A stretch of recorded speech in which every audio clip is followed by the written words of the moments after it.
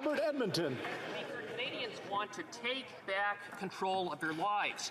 Yet millions of Canadians are unable to travel freely within Canada, unable to get on a plane, unable to get on a train because of the Liberals' punitive and ineffective vaccine mandates.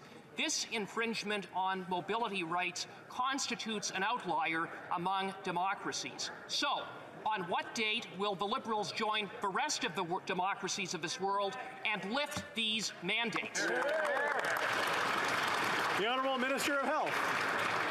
Mr. Speaker, the reason we're able to lift these mandates is that we have in Canada one of the highest rates Absolutely. of vaccination in the world. That is the so we have in Canada about 85% who have had a first dose, 81% two dose, almost 60% a third dose.